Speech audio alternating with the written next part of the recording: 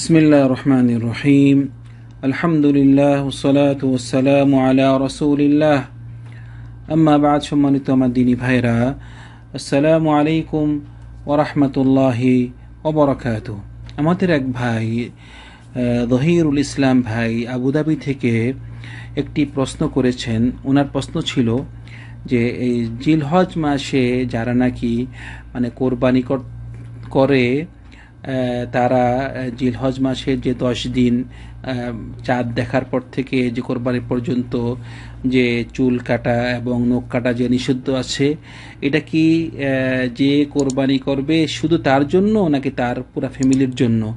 এটি এটি এরকম ওনার প্রশ্নটি ছিল। তো প্রথমেই আমি জহিরুল ইসলাম ভাইকে বলব ওয়ালাইকুম আসসালাম ওরহমতুল্লাহি অবরাকাত আমি আমার এই প্রশ্নের উত্তরের আগে একটি বিষয় নিয়ে আলোচনা করতে চাচ্ছি। সেটি হলো, আমরা যারা নাকি এই কোরবানি দিয়ে থাকি দেখা যায় যে আসলে কোরবানিটি দেখা যায় একটা ফ্যামিলির প্রত্যেক জনের নামে নামে কোরবানিটা দেওয়া হয়। আসলে এটি প্রয়োজন নেই। মানে একটি ফ্যামিলির যে নাকি কর্তা মানে শুধু তার নামে দিলেই এটি সবারই দেওয়া হয়ে যাবে। মানে একটি ফ্যামিলির জন্য একটি ছাগলই যথেষ্ট, একটি ফ্যামিলির জন্য স্বামী, স্ত্রী তাদের ছেলে মেয়ে থাকে। শুধু স্বামীর নামে যদি ওই কোরবানিটি দেওয়া হয় কর্তার নামে যদি কোরবানি দেওয়া হয়, তাহলে তার পুরা ফ্যামিলি এই কোরবানির মধ্যেই সামিল হয়ে যাবে। সুতরাং আমাদের প্রত্যেক ফ্যামিলির প্রত্যেকটি সদস্য, সদস্যর নামে কোরবানি দেওয়া প্রয়োজন নেই। এটি একটি বিষয়।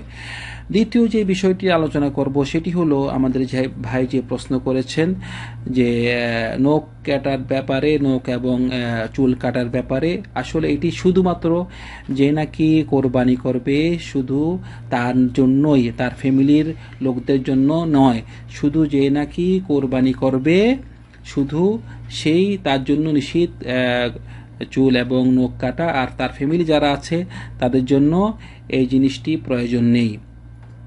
তারপরে তৃতীয় যে কথা বলব, সেটি হলো, এই নখ কাটা এবং চুল কাটা নিয়ে এটা ওলামাদের মধ্যে ইখতলাফ আছে। এটা তিনটি মতামত আছে ওলামাদের। আমি তিনটি মতামত নিয়ে আপনাদের সাথে আমি সংক্ষেপে কিছু আলোচনা করব। তো যে ব্যক্তি কোরবানি করার ইচ্ছে করে, হাদিসে আসছে যে হাদিসটি উম্মি সালামা রদি আল্লাহ আনহা থেকে বর্ণিত। উম্মি সালাম আমরা জানি যে রসুল্লাহ সাল্লাহ আলী আসলামের একজন বিবি।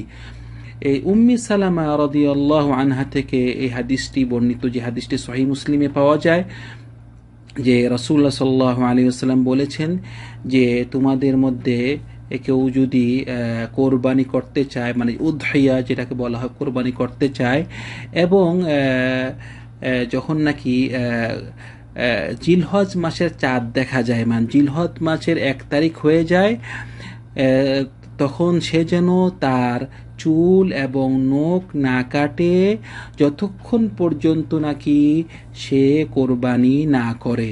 সুতরাং এই হাদিস থেকে বুঝতে পারলাম আমরা যে মানে রাসুল সাল্লাহ আলী আসাল্লাম বলেছেন মানে মানে কেউ যদি কোরবানি করতে চায় তার কোরবানি করার ইচ্ছা আছে সেজন্য তার চুল এবং নখ না কাটে, যদি জিলহজ মাস শুরু হয়ে যায় সেজন্য না কাটে চুল একদম কোরবানি করা পর্যন্ত।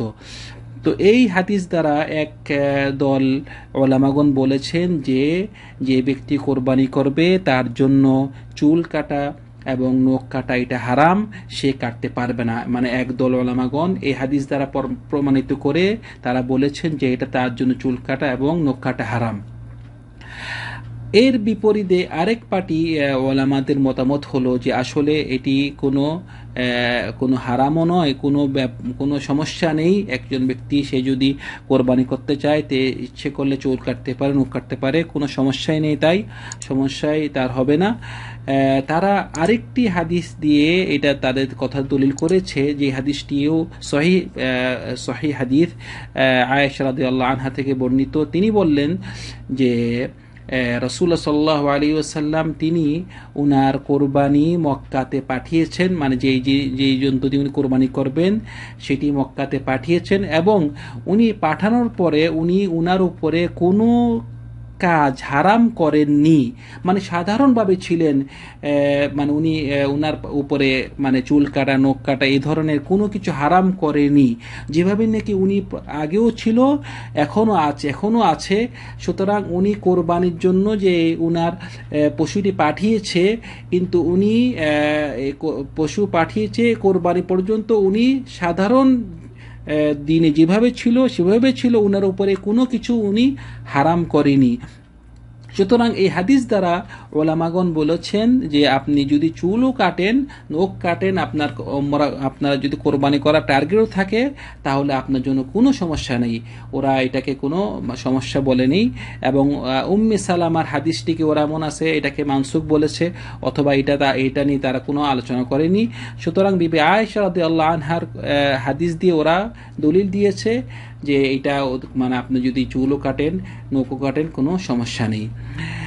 কিন্তু আরেক পার্টি ওলামাগণ, যে জুমহুর ওলামা বলে যে বেশিরভাগ ওলামাগণ একটা মতামত দিয়েছেন, তৃতীয় মতামত, সেই মতামতটি মানে দুটি হাদিস নিয়ে মানে মানে মানে আমল করা হয়। সেটি হলো মানে কেউ যদি নখ এবং চুল কাটে এই দশ দিনের মধ্যে, তার জন্য এটি হারাম হবে না, কিন্তু তার জন্য এটি মাকরু হবে। মাকরু অর্থ হলো মানে আপনি যদি কাটেন, আপনার মানে কোনো গুণা হবে না, কিন্তু যদি না কেটে থাকেন, তাহলে আপনার জন্য এটি সব হবে।